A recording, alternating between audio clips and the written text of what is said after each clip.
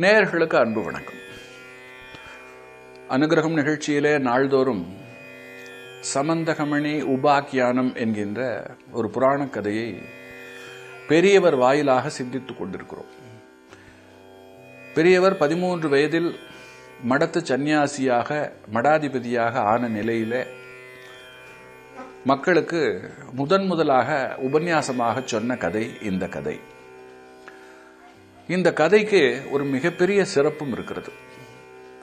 அதாவது இந்த கதையை சொல்லுகின்றவர்கள் இந்த கதையை கேட்கின்றவர்கள் இந்த கதை எழுதப்பட்டிருக்கக்கூடிய புத்தகத்தை வைத்து கொண்டிருக்கின்றவர்கள் இவர்கள் அவ்வளவு பேருக்கும் எல்லாவிதமான நலங்களும் சேமங்களும் ஏற்படும் என்று இந்த புராணத்தின் பின்புலத்திலே ஒரு நல்ல விஷயம் அடங்கியிருக்கிறது. அதை நான் இந்த வேளையிலே கோடிட்டு சொல்லிக்கொள்ள விரும்புகிறேன். அதனால தான் பெரியவா முதல் முதல்ல தான் சொல்லுகிற ஒரு கதை. இப்படி அடுத்த வாழுக்கும் தனக்கும் எல்லாவற்றுக்கும் நல்லது தருகிற வரசித்தி கொண்ட ஒன்றாக இருக்கட்டும் என்று இந்த புராண கதையை முதல் உபன்யாசமாக செய்தார். ஏன்னா இந்த கதைக்கு அப்படி ஒரு வரசித்தி. இந்த வரத்தை யார் கொடுத்தா? எப்ப கொடுத்தா எதனால கொடுத்தா என்பதெல்லாம் இந்த கதையினுடைய போக்கிலேயே வரப்போகிறது. கடந்த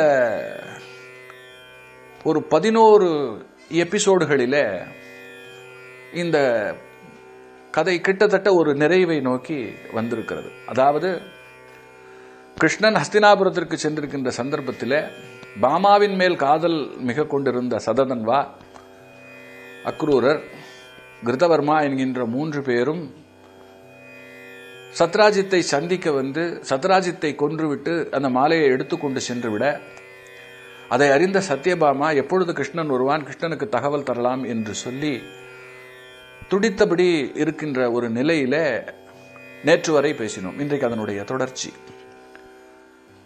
அஸ்தினாபுரத்திற்கு சென்றிருந்த கிருஷ்ணன் தகவல் அறிந்து துவாரகைக்கு திரும்புகிறான். திரும்பின நிலையிலே அவனிடம் நடந்த அவ்வளவையும் சத்யபாமா சொல்லி அழுகிறாள். அழுதவள் அப்பாவை குத்தி கொன்றது மட்டுமல்ல அந்த மாலையையும் சததன்வா அபகரித்து சென்று விட்டான். அவனை எக்காரணத்தை கொண்டும் சும்மா விடக்கூடாது என்று சொல்லி கதறுகிறாள். அதை கேட்ட கிருஷ்ணனும் கோபம் கொண்டு உடனே புறப்படுகிறான். அவனோடு பலராமரும் வருகிறார். இவர்கள் இரண்டு பேரும் சேர்ந்து சததன்வா எங்கிருந்தாலும் சரி அவனை பிடித்து அந்த மாலையை மீட்டுவிட வேண்டும். அவனையும் கொன்றுவிட வேண்டும். ஏனென்று சொன்னால் இப்படிப்பட்டவர்களை விட்டு வைப்பது என்பது இந்த உலகத்திற்கு நல்லதல்ல. ஆகையினால இதுதான் நீதி. அதனால் அந்த நீதியை மக்களுக்கு உடனே வழங்கியாக வேண்டும். அப்படிங்கிற நிலையில புறப்படுகிறார்கள். இன்னொன்று இப்படிப்பட்ட ஒரு துராத்மாவின் கையிலே அற்புதமான ஒரு விஷயம் இருந்தது என்று சொன்னால் அது இன்னும் அநேக உயிர்களை வாங்கும். இப்பவே அது வந்து பிரசேனஜித் சத்ராஜித் அப்படின்னு சொல்லிட்டு ரெண்டு மிகப்பெரிய உயிர்களை அது வாங்கிவிட்டது. அதனால இப்ப அவர் என்ன பண்ணுறார் அப்படின்னா இதை வந்து விடக்கூடாது இதுக்கு ஒரு முற்றுப்புள்ளி வைக்கணும்னு சொல்லிட்டு போகிறார் சததன்வாவுக்கு ஒரு உண்மை தெரியும். கிருஷ்ணனை வந்து யாரும் போரில் வெல்ல முடியாது. அவன் கம்சனையே வீழ்த்தியவன். பல அசுரர்களை வீழ்த்தியவன். அதனால கிருஷ்ணன் இப்படி தன்னை தேடிக்கொண்டு தன்னை எதிர்த்து கொண்டு வருகிறான் என்று கேள்விப்பட்ட உடனே அவன் ஒரு காரியம் பண்றான். தன் வசம் இருக்கக்கூடிய அந்த மாலையை அக்ரூரர் வசம் கொடுத்துட்றான் கொடுத்துட்டு ஒருவேளை தான் அகப்பட்டாலும் அந்த மாலை கிருஷ்ணனுக்கு மட்டும் கிடைக்கவே கூடாது. எக்காரணத்தை கொண்டும் கிடைக்கக்கூடாது அப்படின்னு நினைத்து அக்ரூரர்கிட்ட கொடுத்துட்றான் கொடுத்துட்டு அவன் வந்து ஒரு ரதத்தில் ஏறிக்கொண்டு பயணிக்கிறான். பின்னாடியே பலராமரும் கிருஷ்ணனும் விடாமல் துரத்துகிறார்கள். ஒரு கட்டத்தில் அவனோட குதிரை களைத்து போய் ரதம் நின்று விடுகிறது. அவன் இறங்கி ஓடத் தொடங்குறான். இந்த இடத்துல கிருஷ்ணனும் என்ன செய்கிறான் தெரியுமா?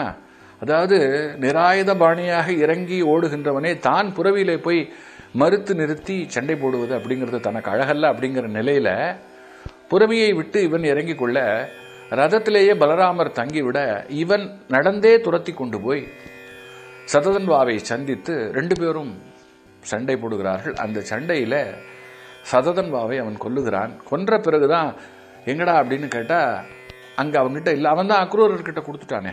தான் இறந்தாலும் சம்பந்தகமணி எக்காரணத்தை கொண்டும் கிருஷ்ணனுக்கு கிடைத்து விடக்கூடாது அப்படிங்கிறதானே அவனோட கொடிய எண்ணம். இப்படி தான் ரொம்ப பேர் இருக்கா. தனக்கு ஒரு கண் போனாலும் எதிரிக்கு ரெண்டு கண்ணும் போகணும் அப்படிங்கிற அந்த விருப்பம் கொண்டவர்களாக இருக்கிறார்கள். அந்த காலத்திலேயே புராணம் இது எல்லாம் சொல்லுகிறது. இன்றைக்கி நாம் அதெல்லாம் ஒப்பிட்டு பார்த்து கொள்ளலாம். எல்லா காலத்திலும் மனிதர்கள் எப்படி இருந்திருக்கிறார்கள்? அப்படி இருந்ததனால் அவர்களுக்கு என்ன ஆனது? இதெல்லாம் நமக்கு ஒரு பாடம். ஆகையினால நாம் அப்படியெல்லாம் இருக்கக்கூடாது. அப்படியெல்லாம் இருந்தால் நமக்கும் இப்படியெல்லாம் நிகழும். இதையெல்லாம் சொல்றது தான் புராணம். புராணத்தினுடைய நோக்கமே நம்மை நேர்வழிப்படுத்துவது. நீ தப்பு செய்தால் உனக்கு தண்டனை உண்டு அப்படின்னு சொல்றது புராணத்தினுடைய. சரித்திரம் வந்து என்ன நடந்ததோ நடந்ததை மட்டும் சொல்லும். அது நமக்கு எந்த பாடத்தையும் கற்பிக்காது. அது நமக்குள்ளே வந்து இந்த இந்த காலத்தில் இந்த ராஜா இத்தனை வருஷம் இப்படி ஆண்டான். மழை பெஞ்சது பயிர் விளைஞ்சது இத்தனை மக்கள் இருந்தார்கள் இப்படி இப்படியெல்லாம் இருந்தார்கள். உள்ளதை உள்ளபடி சொல்லுவது மட்டுமே சரித்திரம். ஆனால் அதை கடந்து அவ்வாறு சொல்லுவதோடு கூட இப்படியெல்லாம் நடந்தால் அது வந்து இப்படிப்பட்ட விளைவுகளை உருவாக்கி நம்மளை வந்து பாபிகளாக்கிவிடும் அப்படின்னு சொல்லுவது புராணம். புராணம் நமக்கு வந்து ஒரு படி மேலே போய் நம்மை எச்சரித்து நம்மை பக்குவப்படுத்தி நமக்குள்ளே தெளிவை உருவாக்கி நம்மை ஞானிகளாக ஆக்குகிறது. ஆகையினால சரித்திரம் பெருசா புராணம் பெருசா அப்படின்னு சொன்னால் சரித்திரமும் பெரிது புராணமும் பெரிது. ஆனால் சரித்திரமும் ச- புராணமும் எது ரொம்ப பெருசுன்னு சொன்னால் சரித்திரம் பெரிது. அதை விட ரொம்ப பெரியது புராணம் என்று சொல்ல வேண்டும். இதையும் பெரியவா தான் போகிற போக்கில் தன்னுடைய கருத்தாக சொல்லியிருக்கிறார். இதை ஏன் சொல்றேன் அப்படின்னு சொன்னால் அது ஒரு புராண கதை. அதெல்லாம் போய் அதையெல்லாம் போய் கேட்டுக்கொண்டு அதையெல்லாம் மதிக்கக்கூடாது என்று இன்றைக்கு இந்த கரிகாலத்திலே ஒரு கருத்து இருக்கிறது. மேலெழுந்த வாரியாக பார்த்தால் அது நமக்கு சரின்னு சொல்லக்கூடும் தோன்றக்கூடும். ஏன்னா அதில் இருக்கக்கூடிய பல விஷயங்கள்லாம் இன்றைக்கு நடைமுறையில் இல்லாததுனால மிருகங்கள் மிருகஜாதியில் இப்ப ஜாம்பவான் மாதிரி யார் இருக்கா அனுமார் மாதிரி யார் இருக்கா அவர்கள் பறந்தார்கள் தெரிந்தார்கள் என்ற சாகசங்கள் எல்லாம் இன்றைக்கு இந்த உலகத்தில் இல்லாத காரணத்தினாலே அது ரொம்ப மிகையாக ஃபேண்டசியாக நம்ப முடியாததாக பொய்யாக நமக்கு தோன்றக்கூடும். ஆனால் அந்தந்த யுகத்துக்கு என்று இருக்கக்கூடிய தர்மப்படி அதெல்லாம் இருந்தது என்று நாம் சிந்திப்போமே ஆனால் நமக்கு சில விஷயங்கள் புரியக்கூடும். அதனால் ஒரு விஷயத்தை எப்படி பார்க்கணும் அப்படிங்கிறதுக்கும் விதங்கள் இருக்கிறது. இதைத்தான் பெரியவா சொல்கிறா சொல்லிட்டு இப்போ என்ன சொல்றா? இப்போ இப்படி ஆயிடுத்து அதனாலே இந்த அளவிற்கு வந்து விட்டது சததன்வாவை இப்பொழுது கொன்றாயிற்று ஆனால் அங்கே வந்து இல்லை. திரும்பி வந்து வெறும் கையோடு திரும்பி வருகிற பலராமர் பார்த்துட்டு என்ன ஆச்சுன்றார். சததன்வா இறந்தான். சரி எங்கே மணிமாலைன்னு கேட்டால் அது அவங்ககிட்ட இல்லை அப்படிங்கிறார். உடனே இந்த இடத்துல பலராமருக்கு கோபம் வருகிறது. என்ன கிருஷ்ணா? அவன் தானே எடுத்துக்கொண்டு போனான். அதனால தானே அவனை துரத்தி கொண்டு வந்தோம். அவனை கொன்றுவிட்டு அவனிடம் இல்லை என்று சொன்னால் எப்படி? அப்படிங்கிறார். கிருஷ்ணன் சொல்கிறார் நான் எது உண்டோ அதைத்தானே சொல்ல முடியும்.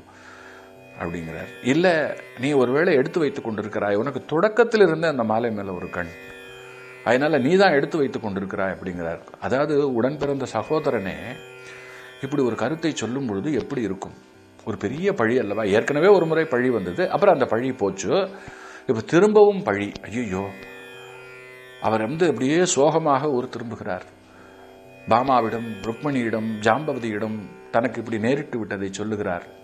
மனுஷிய ரூபத்தில் மனுஷிய பிறப்பெடுத்து விட்ட நிலையிலே தான் ஒரு பரமாத்மாவாக இருந்தாலும் மனுஷர்களுக்கு உண்டான அந்த இலக்கணங்களை மீறாமல் வாழ்ந்துகின்ற காரணத்தினாலே இங்கே வருத்தப்படுவது போல நடிக்கிறார்னு சொல்கிறதா இல்லை அதை ஏற்றுக்கொண்டு செயல்படுகிறார்னு சொல்கிறதா எப்படி வேணால் சொல்லலாம்.